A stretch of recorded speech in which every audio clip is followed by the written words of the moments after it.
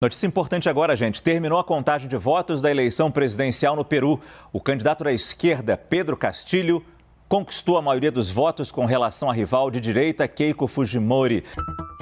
Con el 100% de las actas procesadas, Pedro Castillo es el virtual ganador de la elección presidencial en Perú. And now we begin with the news. In Peru, more than a week has passed without electoral authorities officially announcing Free Peru candidate Pedro Castillo as the winner of the presidential elections held on June the 6th. En eh, Perú ya es oficial, Pedro Castillo es presidente de Perú.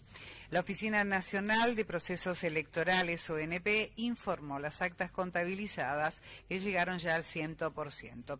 Pedro Castilho foi eleito o novo presidente peruano, agora de forma oficial, com 100% das urnas contabilizadas após uma votação apertada em segundo turno. Tras nueve días del balotaje en Perú, el organismo electoral del país dio por ganador al izquierdista Pedro Castillo, quien se impuso por 44 mil votos. Y comenzamos en Perú con el 100% de actas contabilizadas por la Oficina Nacional de Procesos Electorales. El candidato Pedro Castillo gana las elecciones presidenciales con un 50.12%.